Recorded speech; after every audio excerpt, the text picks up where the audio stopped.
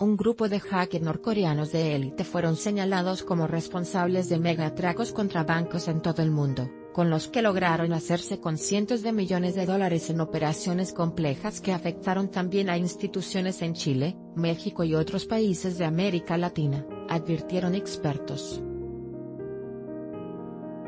Un informe publicado este miércoles por la firma de ciberseguridad Fireye dijo que hace poco tiempo lograron identificar a un grupo apodado como AP38. Esta célula de piratas actúa de forma diferente a otras operaciones llevadas a cabo por Corea del Norte, pero está igualmente vinculada y su principal tarea es recaudar fondos. Finanzas bancos afectados por Akeo Aspect ya cobraron seguros. CHB México Fireye indicó que AP38 es una de varias células que forma parte de una red conocida como Lazarus, pero la distinguen sus minuciosos métodos que le han permitido llevar a cabo algunos de los atracos informáticos más espectaculares a nivel mundial. Entre las víctimas están el Banco Mext en México. Entre las víctimas de estos pacientes piratas informáticos están el mexicano Banco Nacional de Comercio Exterior, Banco Mext que sufrió un ataque en enero de 2018, y el Banco de Chile, una institución privada que fue atracada en mayo. Son un grupo cibercriminal pero con las habilidades de una campaña de ciberespionaje, dijo a periodistas en Washington Sandra Joyce, la vicepresidenta de la Unidad de Inteligencia de Fireye.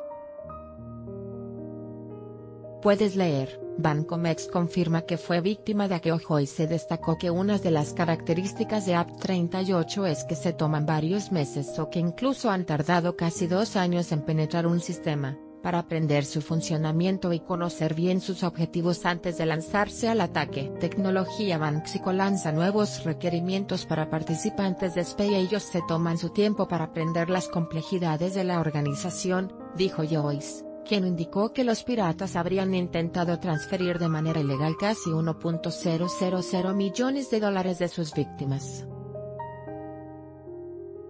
Una vez que logran sus objetivos, entonces despliegan un programa malicioso malo haré antes de salir para esconder sus trazas, y hacer que sea más difícil para las víctimas darse cuenta de lo ocurrido un virus como señuelo se explicó que Fireye decidió alertar sobre los riesgos porque al parecer el grupo sigue operando, y no ha sido disuadido por ningún esfuerzo diplomático. Finanzas ciberataques en 2018 superarían estadísticas del año pasado. El grupo ha atacado a más de 16 organizaciones en 11 países y está operativa al menos desde 2014, según el informe. Robo a bancos en México El ataque a Banco Mext se produjo a principios de enero, y se articuló primero como un enlentecimiento en el sistema informático distractor, para intentar sustraer cerca de 110 millones de dólares. Este primer ataque fue frenado con éxito. Unos meses después, el sistema de transferencias PAY que usan muchas instituciones en México fue intervenido, y los piratas lograron sustraer al menos 15 millones de dólares. Según Bloomberg, Finanzas firman acuerdo de seguridad de información tras ciberataque a SPEI en el caso del Banco de Chile, el ataque comenzó como un virus utilizado como señuelo lanzado el 24 de mayo, lo que obligó al banco a apagar miles de terminales para proteger las cuentas de sus clientes.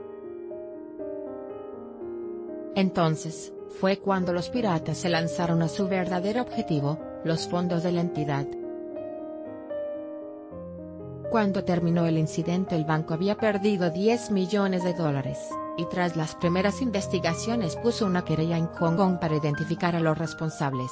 También detectó ataques en Uruguay y en Brasil según un informe publicado por la Organización de Estados Americanos, OEA, la semana pasada. Un 92% de las entidades bancarias de América Latina fueron víctimas de algún incidente cibernético en el último año, y un 37% de las entidades sufrió un ataque en el que los piratas informáticos tuvieron éxito.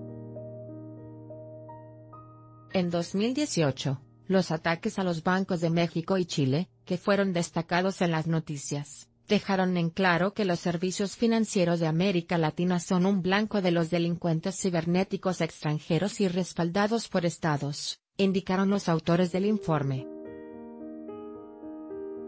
Lani Fraser, uno de los expertos de Firella indicó que App38 ha buscado hacerse con al menos 1.100 millones de dólares desde 2014, y que ha logrado captar efectivamente cientos de millones, según los datos ya confirmados.